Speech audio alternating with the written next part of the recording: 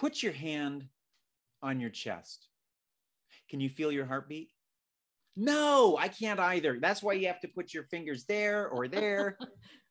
and that's Janet Porter, author of The Heartbeat Bill, who's laughing. Janet, what's the connection between your heartbeat bill and comedy?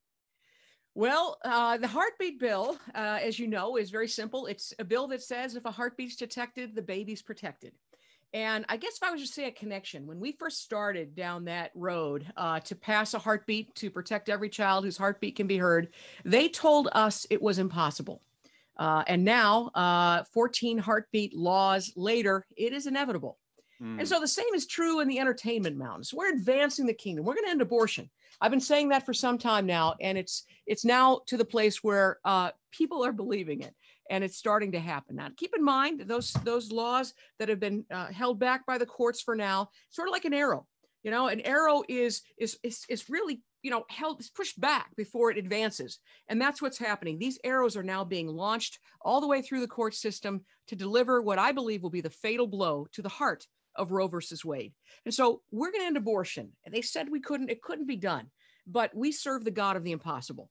And so one one day when I was, I don't know, I was having a especially bad day. Uh, our bills were being blocked in Congress. They were being blocked at the state level. And I, I don't know. I needed I needed uh, something to cheer me up, and I would have liked to say I turned on Christian television. I got in the Word. Now I, I watched I watched a couple of sitcoms, and I don't know, I binge watched three or four, and by the third or fourth of, of the sitcoms that I watched, I I was sick to my stomach with the agenda that came with every single one of them. And so I dusted off a script uh, and said, you know what? Instead of complaining about uh, how bad things are, the sewage that's pouring into our living room every night, uh, let's do something about it. Um, and you know, many people know that I've been trying to make a movie for some time. Uh, we're going to make that movie, but but there's lots of good Christian movies.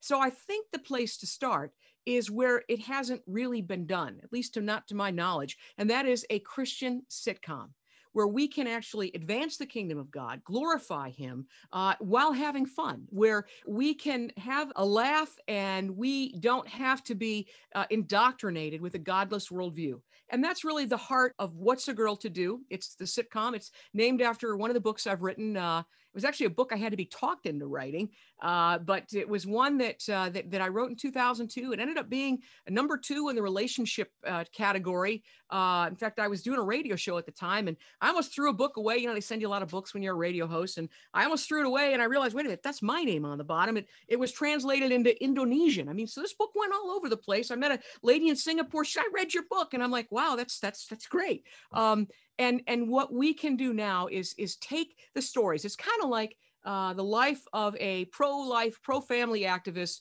uh, who is going through the Mr. Wrongs uh, all the way to get to Mr. Right. Um, and you can do it without compromising. You can do it without losing heart. You can do it without losing faith.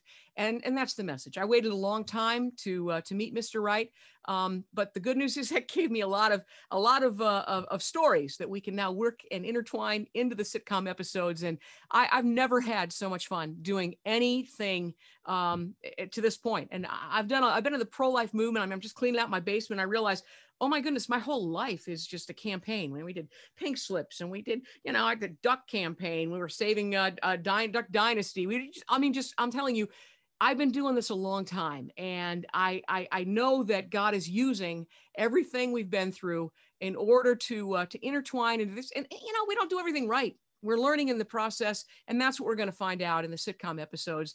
Uh, I think the best part of it is the cast that we're working with, and I'll tell you, um, you're one of, and I, I know that you, you might edit this out. Don't edit this out. You are one of the most talented people I've ever met. Oh. And the fact that you would take a small role, which is about to get bigger, uh, is is really quite a quite an honor that you would serve God in this way. Uh, I know He is going to bless you because you are blessing this project in ways I can't even describe. So the cast and crew are are are absolutely off the charts. We have Robert Davi, as you know, who's been in Die Hard and Expendables Three. He's been in the Goonies, and uh, we have uh, Rick uh, uh, uh, Rusty Joiner, who uh, plays uh, the initial love interest. He's a, a guy that I first saw in a pro life movie called uh, Voiceless, but he's been in Melrose Place. He's been in Dodgeball with Vince Vaughn and Ben Stiller, and so it's a it's a cast of qualified actors. I'm the least qualified actors actor of all of them, and I'm hoping you can give me some of the tips from your from your acting classes, Rich. You're doing great, Janet. You're doing great. It's so fun, and so much of it is from literally from your life. Is that is that correct? It is. It's funny. The, the, the, pilot that we shot, uh,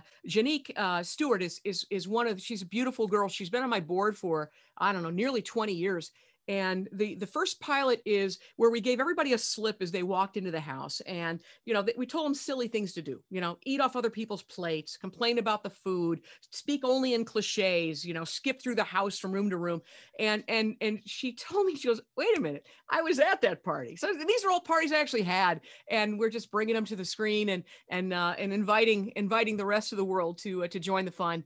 Um, and I, I just uh, I realized that that I've been I've been in the trenches. I've been in the front lines of the war for a long time. Uh, the last decade has really been devoted to getting heartbeat bills passed, uh, not only in my home state, a purple state of Ohio, uh, but but all around the country. And and I I uh, I'm just really privileged to to be able to be a part of something like this. And I I don't want people to think, oh, she's giving up on the cultural war farthest thing from the truth. In fact, in a week, I'll be in Dallas. We'll be talking to uh, at least 30 state leaders, legislators, uh, and we're going to be we're going to be awarding those legislators who have passed heartbeat laws and introduced them. Um, but we're going to be getting them going in in, in other states uh, around the country. Um, we're going to keep advancing the kingdom of God in in multiple ways. As you know, we've been fighting the the wicked agenda from Washington, including HR five, the misnamed Equality Act. We are now yes. almost at two million orange postcards that we're sending to the Capitol. Um, and uh, and Praise my God. book, yeah, I'm getting I'm getting uh, emails from people every day. They're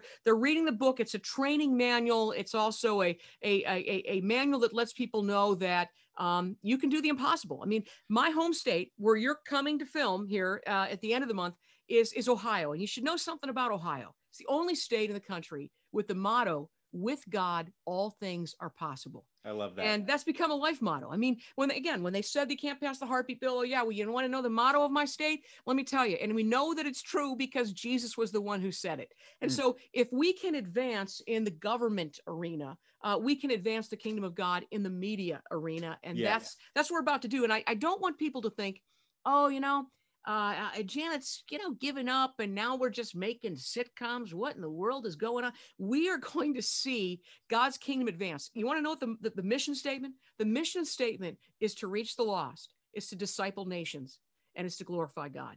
And that's what we intend to do with this. We're starting off slow. We're not going to hit everybody over the head with it right away. I mean, look what the world's done. I mean, yeah. you watch the world uh, sitcoms. I mean, you're you're viewed as an idiot if you don't sleep around. Yeah. Uh, you know, it started with a Big Bang. Really, that's not how I read my Bible. I mean, we read about what God has to say, and they ridicule those of us who stand for the truths of God's word. And uh, we're gonna we're gonna we're gonna uh, uh, take that on head on, um, and uh, we're gonna we're gonna present what it's like to live as a Christian in today's culture. again, we don't always do things right, but we learn along the way, and that's that's really the point. Yeah, and last night in rehearsal, you know, I had mentioned that politics is downstream of culture, and you asked me to look up who that was. I haven't had the time, yeah. but you know, a thought that came to me was that was the way Roe v. Wade was was pushed through. I mean, we saw that in the film that came out. You know, it was that book filled with lies, filled with with um, uh, factual, intentional, factual error and and really just out and out lies. You know and what's funny is, is I didn't interrupt you. Go ahead. I'm sorry. No, I was just going to say that that book and that's media, right? That's going out to the public. That book was really what convinced it was it was cited several times in Roe v. Wade, uh, and that was out in the popular market. So well, what I found out, and I, I, talk with a lot of women who have experienced the, the pain of, of abortion, of losing their child, of, of being subjected to that horrendous procedure uh, that they call choice. And, and something stuck with me, Rich. There was a woman who, who said, The reason why I thought it was okay is I saw a sitcom mm. named uh, the, it was the Golden Girls, I think it was called, and it was the woman who played Maude or, or, or something like this, uh, Arth, Bea Arthur, something like this. She yeah. she basically talked about how she was pro-choice, right, and killing children. And she said, I that stuck with me. I saw it on television, indoctrinated in the entertainment media. And when she found, you know, she she discovered she was pregnant, she said, Well, you know, that's what I've seen on television. It must be okay. The the you know, the judges have ruled it legal. So who am I to question it? And yeah. so, so yeah, the media plays a very, very strong role, not only in the legalization of abortion, but whether or not, you know, how people live their lives. I mean, they learn how a family is. I mean, I, I look at things that I, I can't even watch things like Modern Family. I mean, it's just really, this is not, this is not God's best. We yeah. can do better than that. We can present men without being, uh, you know, this feminized version of, of the, the idiots on television. We can present police officers as people that actually do want to protect and serve. I mean, we're going to, we're going to work work some of those themes in there, um, and we're gonna we're gonna uh, uh, see some some some transitions in characters as they as they they grow along the way. Some some are faking it, trying to pretend like they're Christians, like uh, Matt Moore, who uh, is incredibly talented actor. He plays the next door neighbor, uh, and uh, I mean he's asked in this this upcoming episode to give a Bible study on the Golden Rule, which was a little tough to do because he didn't know what that was. He thought it was do unto others before they do it unto you. Um, so we're we're learning as we go, and it's just it's fun along the way. I've never laughed so much uh, with this crew. And I'll just say um, the, the, the first episode uh, that we did, the pilot that we shot, the one, the person who made me laugh the most, to the place where I was messing up the takes, and the director's mad at me. It was you, uh, Rich. You're you're amazing. I I just uh, the ad libs, the stuff that you've thrown in that I didn't write is my favorite oh. parts of all of this. And I just want to say again, I'm so so grateful that uh, that you're lending your God given talents into this uh, this project. Jenna, it's so much fun. And here's the here's the cool thing about all of this is my wife's a, a counselor and she said, when you laugh, there's something about laughter that opens you up. You know, our we've got this frontal lobe and our analytical upper left brain is like blocking everything we don't agree with. But when we start laughing, you're taking things in at the the limbic system level right into your core being mm-hmm. and yeah that's i mean that's how they've changed the culture yes the marxists did this in the 30s very very intentionally. And now we're trying to to mount the mountain of the entertainment industry and we've we've got a lot of opposition you know there's there's a lot of people who complain about what they see. I mean for mm-hmm. years I, I mean how many emails have gone out about this this trash on this show and this this agenda and how they're ridiculing you know god in this in this program. And and you know we always send the boycotts and we'd make the calls and we'd do all this but but there comes a time where you got to quit complaining about what's wrong and and actually create something that's right um, and and you know that's the same with abortion. I, I, honestly, I got to the point where I am sick of talking about abortion. I'm sick of marching about it. I'm sick of protesting it. I'm sick of it entirely. I want it to end. And so when God gave me the idea for the heartbeat bill, and they said it couldn't be done, I just kept going because when you know that God put something on your heart, you know that He finishes what He starts. I mean, I, I didn't know it was going to take so long. I didn't know it was going to be that hard. It took us a decade to get it through in my home state of Ohio Ohio, but but when the purple state of Ohio passed it, that allowed me to go to South Carolina and to Texas and North Carolina and to Tennessee and say, look, if the purple state of Ohio can pass a heartbeat bill, then certainly, I told this to the legislatures in, in legislature in uh, in Texas, certainly the great state of Texas can do it. And I'll tell you, if they were almost embarrassed that they haven't done it before us. I mean, you, you know, you're what number 14? Come on, they were, uh, you know, and we're seeing legislators I, I met with and I'll be meeting with next week uh, uh, uh from Alaska from uh, from all over the country, we're going to see uh, more laws to keep hearts beating, and it's exciting. Um, and I just want people again to know I'm not giving up that front. That is my heart. That is my priority. But this is something that will advance the kingdom. And as you say, it's upstream from yeah. politics because if we can turn the hearts, if we can reach the lost, and if we can disciple nations, um, then then we can we can get our country back you know we're very good at at, at very often of winning converts you know you, you you you say the prayer and you move on well we're we're actually told to disciple nations Amen. Um, i made a, a, movie a documentary called uh, light wins mm. because in the battle between darkness and light light wins right that's mm-hmm. the message and and i remember uh, as we as we talked about uh, one of the things dutch sheets said in that in that uh, that that that movie that documentary we made he said, you know what, the world has has has has really taken the Great Commission uh, on it, turn it on its head, where, where we disciple individuals maybe, mm. and we win converts, but they actually disciple nations. Mm. They do it through the music, through the entertainment, they do it through yes. through the culture, through yep. the science, the fake science, the fake news. They're doing it all around us, and they're undermining the truth of the Word of God, and people are dying lost because uh, we have not challenged the lies in the entertainment culture in particular and, and that's that's really one of the things i want to do and and and again